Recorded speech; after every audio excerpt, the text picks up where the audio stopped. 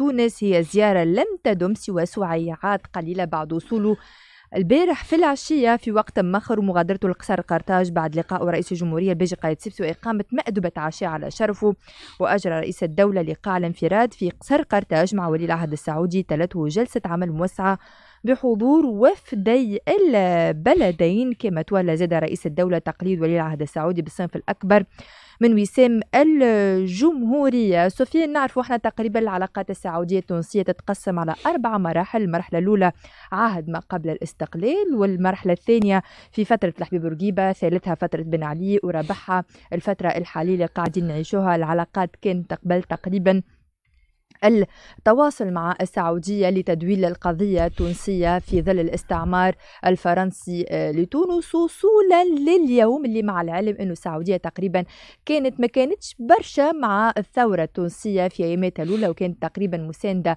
لنظام بن علي وقالت أنه الانتحار في إشارة إلى البعزيزي أنه آه، يشعل الفتنة في البلاد وما إلى غير ذلك من تلته من أحداث من بعد ومن بعد استقبالها لبن علي.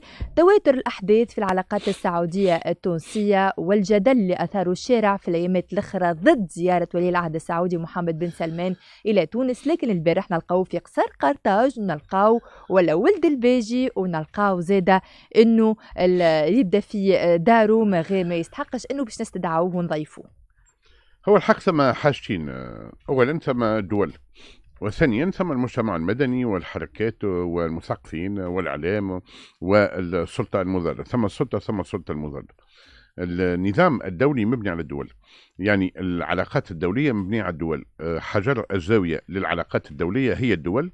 وبدأت تظهر توا أكثر فأكثر المنظمات الدولية وجمعيات غير الحكومية وحتى الجمعيات غير الحكومية فيها كذلك اللي موالية للدول وفيها اللي مستقلة هنا ثم حاجتين ثم المجتمع المدني التونسي والأحرار في تونس والضمائر الحية اللي قالوا نرفضوا هذه الزيارة هذه حاجة. وثم العديد منهم محق في اللي يقولوا على أساس أنه العلاقات بين تونس والسعودية ماهيش علاقات مطلقة في نظر المجتمع المدني لكن ناخذ بعين الاعتبار المستجدات نتاع الأكتواليتي وآخر المستجدات القضية هذه نتاع جمال الخاشقجي وكيفية اغتيال وجريمة الدولة اللي ارتكبتها السعودية في القنصلات نتاعها في إسطنبول. ولكن كذلك ثم الدولة. علاش؟ على خاطر اللي لاحظنا وأنه أكيد جدا الأحرار عبروا على هذا لكن ثم عباد l'indignation نتاعهم sélective. وقت يجي إردوغان ما يتكلموش وقت اللي يجي آه، فرنساوي ولا طلياني ولا غيره ما يتكلموش وقت يجي امريكاني ما يتكلموش ويتكلموا وقتها. علاش؟ على خاطر ثم اصطفاف كذلك داخل الأحزاب وداخل المجتمع المدني. اليوم العالم العربي مقسوم. تنجم تقول لي ثلاثة كتل أساسية. كتلة تقودها السعودية والإمارات بتحالف مع مصر وغيره وكتلة تقودها آه، قطر آه، بتحالف مع تركيا وجمعتها وثم الدول الأخرى اللي هي اللي في هذه اللي في تلك من الكتل. أنا نرى أنه كل واحد آه، يقوم بدوره شاكان دون سون رول. يجب التنديد بجريمة الدولة التي ارتكبتها السعودية وعلى ما يبدو السلطة السعودية والولي العهد نفسه هو في هذه العملية. لكن في نفس الوقت لو ثم دول إحنا لو عندنا كل عام 10000 تونسي يمشيوا للحج. يعني rien que pour ça يلزمنا تكون علاقات مع السعودية. وإحنا كنا جبنا معناها آه، قطع العلاقات مع بلاد كما سوريا. الدولة تبقى دولة. والدولة هي كذلك بروتوكولات وهي اتفاقات وهي مصالح. يبقى كذلك المجتمع لما يعبر عن رفضه يجب أن يكون هذا التعبير كذلك موجودا. حتى حد ما يجي البال يقول اليوم نقطع علاقاتنا مع قطر وإلا مع تركيا ولا مع السعودية ولا مع الإمارات ولا مع مصر. إحنا من اول الدنيا عندنا علاقات مع السعودية باعتبار وأنه العلاقات الأولى ترجع إلى الفتوحات الإسلامية في تونس سنة 647 ميلادي وما تلها ثم كذلك تواصلت مدة تاريخية كبيرة وكانوا عندنا كبار المشايخ متاعنا والفقهاء ورجال الدين وكذلك رجال الساسة والسلطة ما يسمى بالرحلة الحجازية. يرحلوا إلى الحجاز والحج كان يدوم اللي يمشي الحج يقعد عامين ثلاثة باش يرجع وثم اللي يستوطن غاديكا ويقعد غاديكا يقعد في مصر ولا يقعد في الشرق ولا يقعد في السعودية ذاتها. دونك هذا موجود. وأكثر من هذا كان عندنا وقت اللي كانت عندنا الأحباس كانت عندنا السرة تمشي كل عام لأنه ثم تقريبا 400 إلى 500 أحباس في تونس محبسة على الحرمين الشريفين. كانت تمشي كل عام حتى الغادي وقفتها فرنسا في آه، الثلاثينات أو الاربعينات القرن الماضي. أما كانت ثم أحباس وهذا موجود في التاريخ. أنا نرى chacun dans son rôle تونس كدولة عندها علاقات مع السعودية ومن مصلحة تونس تكون عندها علاقات مع السعودية. وكما قلت لك عندنا سنويا 10000 حاج يمشيوا بالأكثر كان تاخذ يمشيوا من أوروبا ومن قارات أخرى. وكذلك مصلحتنا. مش تكون هذه دولة شقيقة عندنا معها علاقات. بقطع النظر عن المنظومة القيمية يا أخي. توا إنسان عنده علاقات هو مع دولته ساعة جاء ومش متفق مع الدولة لا رئاسة لا الحكومة. يقطع علاقاته. وكذلك المجتمع يعبر. اللي ما يلزمش هو شجب المجتمع عن التعبير وكذلك ما يلزمش آه، رفض السعودية يكون من منطلق الانتماء إلى أحد الأحلاف العربية الحالية. هذه أحلاف عسكرية واجهت بعضها تواجه في بعضها في اليمن واجهت بعضها في سوريا واجهت بعضها في ليبيا يعني اليوم نجيو مع القطريين والأردوغانيين والأتراك ونقول واحدة معهم وقت اللي هم عملوا انقلاب البارح في الأيام في في ليبيا وعملوا معناها شفت ليبيا كانت بلد آمن وماهوش ديمقراطي لكن أصبح مرتع للدواعش ومرتع للقاعدة ومرتع للإرهابيين ومرتع كذلك للجريمه المنظمة الكونية. آه، تركيا وقت اللي جاء إردوغان ما شفتش أصوات يقولوا عنده 500 صحفي في الحبس. من الناس اللي قاعدين يعملوا في ال indignation. donc il faut faire la part des choses أنا شخصيا ضد هذا بن سلمان ونعتبره كارثة على بلاده وثم حتى امكانيه وأنهم يبدلوه هما في بلاده. الدولة حاجة والمجتمع المدني والضمائر الحية حاجة أخرى. الدولة مستحيل وانها تخرج على بروتوكولات. يا أخي أنت شوف حتى الدول تخوى أمريكا.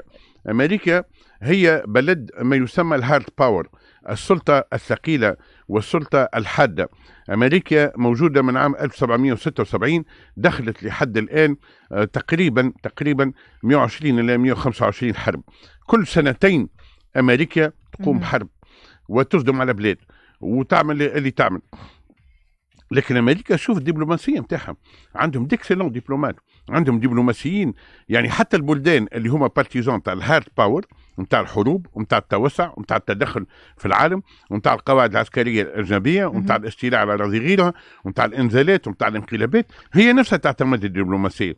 كما قلت لك المنتظم الاممي اليوم فيه تقريبا 215 دولة خلينا نقول بشكل عام أقل بشوية. المنتظم الأممي الاساس نتاعه هي الدول. مشروعية الدول تنجم تناقشها أنت لكن الدول تربط علاقات مع بعضها. يا أخي إحنا تو الفرنسيس ما استعملوناش 75 عام. الفرنسيس ما جابوش آه، واحد ملك فرنساوي جانا في حملة صليبية إلى تونس. ما ذبحوناش في بنزرت ما عملوناش غيره. لكن تبقى ثم علاقة بين الدول باعتبار أنه عندنا أكثر مليون تونسي يعيشوا في فرنسا وما يقولوا أقل لكن أكثر مليون تونسي. سفيان هي ممكن العلاقات توترت نوعا ما بين تونس والسعودية في حرب الخليج. وقتها اللي تونس أخذت موقف محايد من من العراق وقتها في حربها آه، في حرب الخليج. من وقتها تقريبا بدات العلاقات هي توترت قبل الحق في قضية إحنا والسعوديه عندنا مشكلة كبيرة وهي مشكلة مجتمع. يعني من قبل السعوديين يرفضوا النمط المجتمعي التونسي اللي قوامه تحرير المرأة وتعليم الأطفال والجمهورية المدنية وغيره وكانت ديما ثم مشاكل كبيرة. لكن أيام الملك فيصل الله يرحمه اللي هو كان ملك مصلح كبير وشد وزير خارجية بلاده بشكل طويل ثم عمل إصلاحات. يعني هو سمح باش يعملوا تلفزة في بلاده وأنا ذاك كانوا السعوديين معناها يرفضوا ثم يسحبوا عليهم انقلابات بمجرد وأنه ثم تلفزة. فهمتي؟ في نعم. البلاد. مش اللي تظهر فيها امراه ولا حاجة donc الحق كانت متوتره إلى حد ما. ثم فيما بعد أثناء حرب الخليج بن علي خذا موقف وقتها مع العراق. وتونس الرسمية مشات وتونس حتى المجتمعية مشات مع العراق.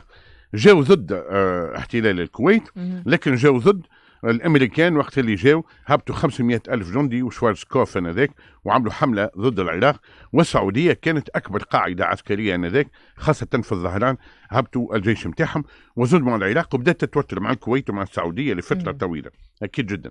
وكذلك وقعت أحداث أخرى مرة سعودي ضرب واحد تونسي هنا في اوتيل فينيسيا وبالجيبة طرد الأمير هذا السعودي وخاضت الأمور وصار ما صار. إحنا والسعودية مجتمعان يختلفان. والكوارث تعقيد سفيان وبعد ذكرى دونك برشا حاجات إي ثم أحداث كما هكا بنحكي لك في السياسة العامة نتاع الدول الحق عقيد ما دخلتش في علاقات بين الدول وحتى ذكرى ما ثم حكايات هذه أكثر منها شعبية و... ويحكيوا فيها وتوا ثم فيها تحقيقات في علاقة بين الدول. أكثر قامت اختلافات اختلافات حول هذايا.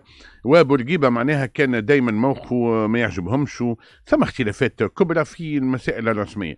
يبقى في المدة الأخيرة آه، السعودية دخلت لسوريا مع العراق مع قطر مع تركيا مع إسرائيل مع ألمانيا وفرنسا وإنجلترا نعم. وإيطاليا وأمريكا والناتو. دخلوا وعملوا ما عملوا. الموقف نتاع المجتمع التونسي كان يختلف هذاك ثم بدأ يظهر انه ثم اصطفاف الإمارات والسعودية من جهة.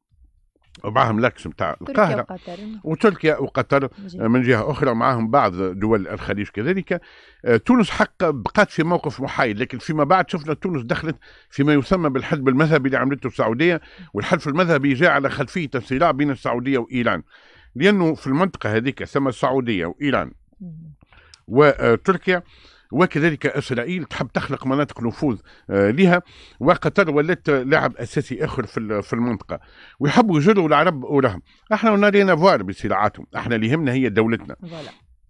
ويهمنا هو الشعب التونسي ويهمنا كذلك وانه غدوة مع أي دولة من هذه الدول تكون على علاقات كما عن علاقات مع تركيا اللي هي دولة صديقة كما مع قطر اللي هي دولة شقيقة كما مع السعودية اللي هي دولة شقيقة لأن الدولة الشقيقة من العرب والدول الصديقة هما غير العرب حتى وإن كانوا مسلمين. عندنا علاقات تاريخية ضاربة في القدم عندنا تبادلات تجارية جامعية وغيره وكما قال دوغول أن ليس لفرنسا أصدقاء بل لها مصالح عقلية الدولة هي المصلحة.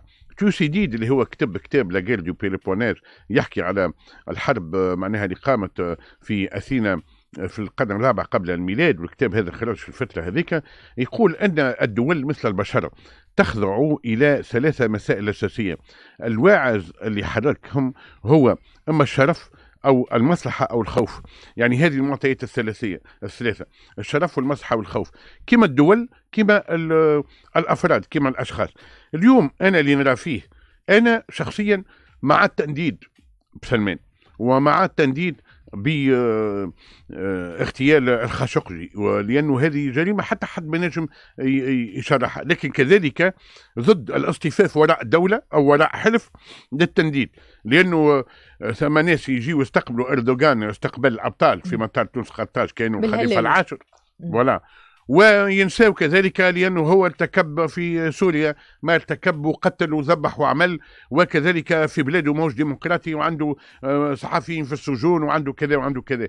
donc المسألة نفرق بين شيئين بقدر ما نحيي المواقف النبيلة والمواقف النزيهة اللي تندد بسلمان بقدر ما كذلك نقول لا الدولة لا ماهيش الدولة دولة l'État c'est l'État الدولة تخوض معناها آه، سيدنا صلى الله عليه وسلم لما أسس الدولة نتاعو أول دولة ظهرت نواة الدولة ظهرت في المدينة والمدينة عمل فيها الصحيفة. صحيفة المدينة أول دستور ظهر في الإسلام والصحيفة يحكي فيها مش على الأوس والخزرج وبني قريظة وبني النذير وبني قينقاع حتى المسلمين والمؤمنين. ديجا المسلمين كان تقرأ صحيفة قال المسلمين هما؟ مش المؤمنين فهمتني؟ وإذا قالت العرب آمنا قل لم تؤمن بقول أسلمت بقول أسلمنا.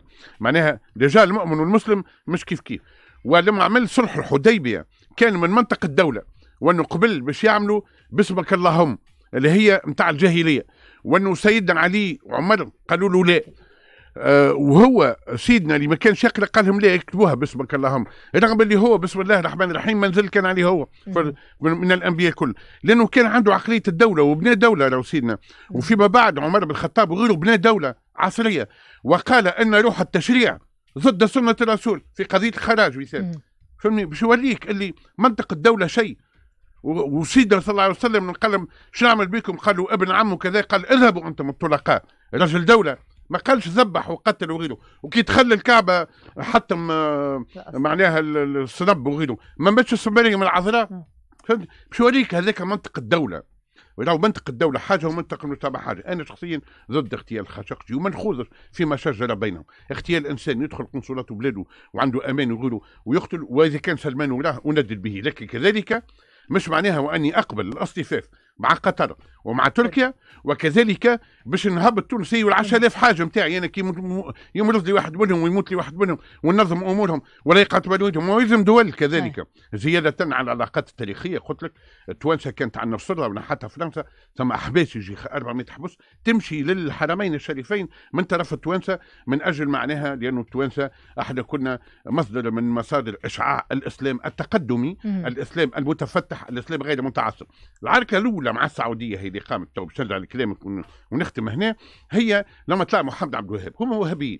ومحمد عبد الوهاب بعث برسالة إلى أميرنا آنذاك ملك تونسي فذ راجل من رجال تونس الكبار اللي هو حمود دباش وقال له أسلم تسلم. وتدخل في الوهابية ما كانش الوريك رد عليه سيدي إسماعيل التميمي اللي هو في كتاب كامل. وشفته أنا الكتاب اثناء ما كنتش عمري ما ريته قبل لكن ريته في معرض عملوه آه اللي هو من هنا من منزل التميم ورد عليه برسالة مدوية سيدي عمر المحجوب وتلقاها في آه إتحاف أهل الزمان وقال له من فضلك إلزم حدك وقعد غديك وارقد في تبنك وماكش أنت باش تعلمنا الإسلام وحيها لا وأنا قالوا آه لنا كذلك رماح ولد بالك. وقتها بدأ الصراع مع الوهابية قام مع محمد علي باشا.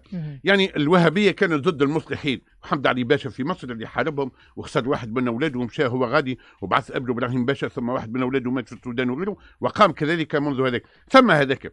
لكن تبقى كذلك علاقات دول وتونس عندها علاقات مع أمريكا عندها علاقات مع فرنسا اللي استعملتها عندها مع الطليان. لأنه الدولة هي الحجر الأساس نتاع العلاقات الدولية؟ بالله يزونا مترهدين جماعة الإمارات أرقدوا في تبنكم وجماعة قطر أرقدوا في تبنكم واللي ما عجبوش يتخلى على الجنسية التونسية ويخليونا. أنا البارح في الليل قعدت نقرأ ساعات وساعات على التكفريناس إنسان تونسي ثوري عمل ثورة في جهة قفصة حتى أنه زعزع مع بين 17 و 24 بعد الميلاد الإمبراطورية الرومانية وبدلوا الطرقات وغيره. أنا ابن تكفريناس وأنا ابن آه كذلك آه يغلطة وأنا ابن حشاد وأنا ابن غيره. لاني ولد الإمارات لاني ولد السعودية.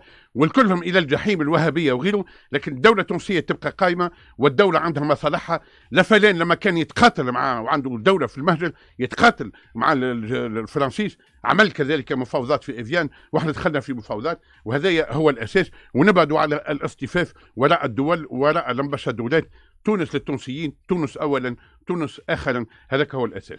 هيت نسمعوا شنو فحوى اللقاء بين ولي العهد السعودي ورئيس الجمهورية في ال extrait هذا ونرجعوا نكملوا حديثنا سفيان.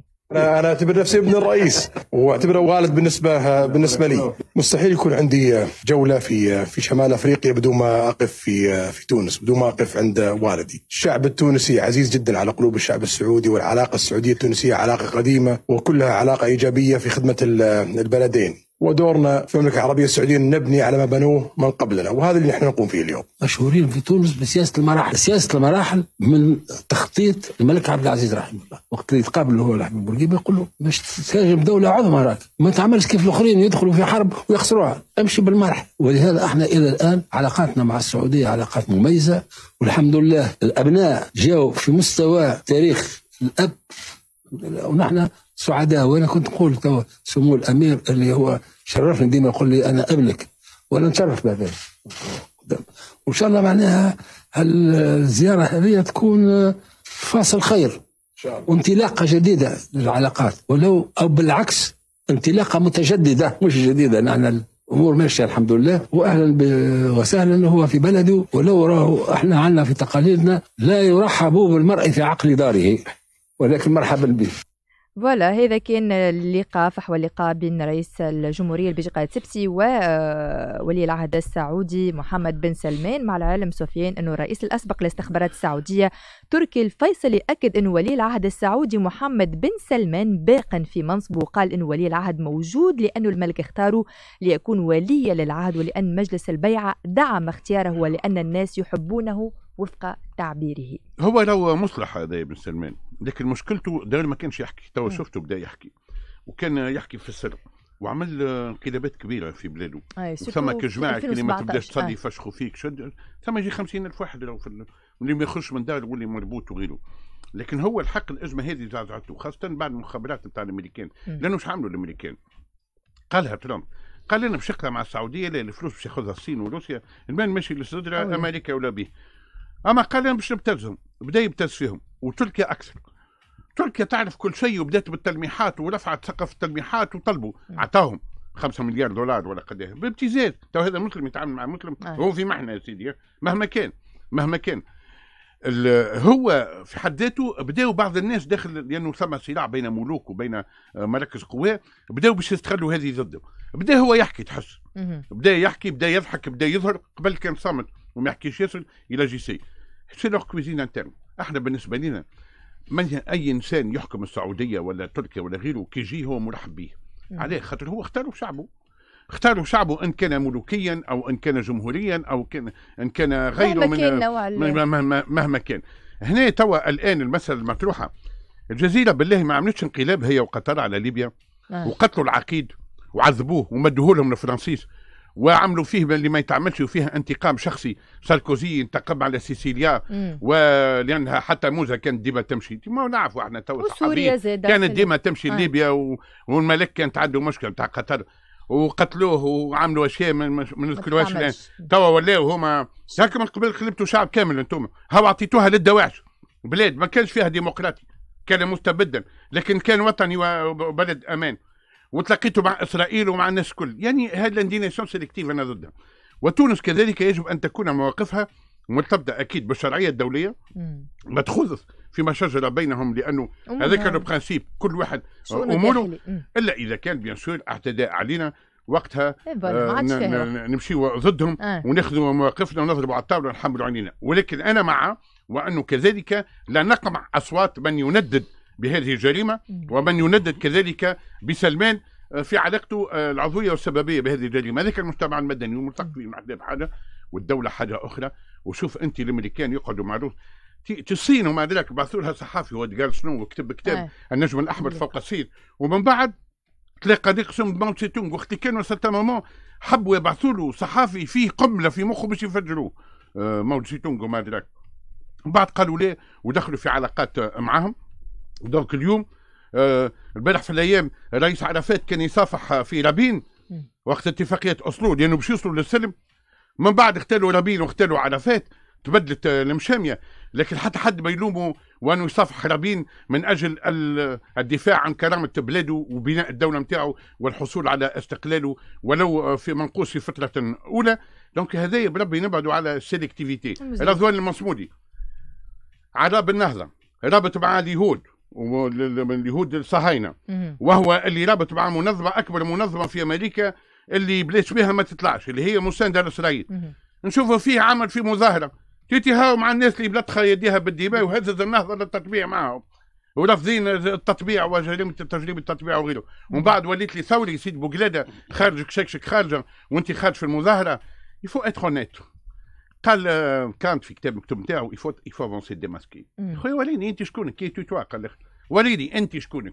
أما تجي في غاديكا تولي لعبها آه، دموع تماسيح ومسكين وكذا. وأنت وقت يقولوا لك إيش صار في تركيا؟ الصاير في لواء الاسكندرون يستعملوا الأتراك، الصاير في العراق اللي ذبحوها ال- الأتراك، الصاير في سوريا. اللي دخلوا لها ناس من 80 جنسية وشردوا 10 ملايين سوري وقتلوا هذايا. الصاير. ولا كيف كيف الناس يدافعوا على السعودية؟ والسعودية بالك قاعدة ترمي في الورود على أطفال اليمن. واليمن نعم. بلاد من أعرق بلدان العالم والتاريخ شوف قاعد يصير فيها هذاك المواقف يجب أن تكون ثابتة لكن الدول هي دول والدول عندها كذلك la raison d'État اللي هي الغالبة وهي حجر الزاوية. ويجب أن نعتمد هذا حتى تجي نهار آخر حاجة أخرى بديل عن الدول. تو ندخلوا إحنا في العالم من الباب هذاك. شكرا لك سفيان.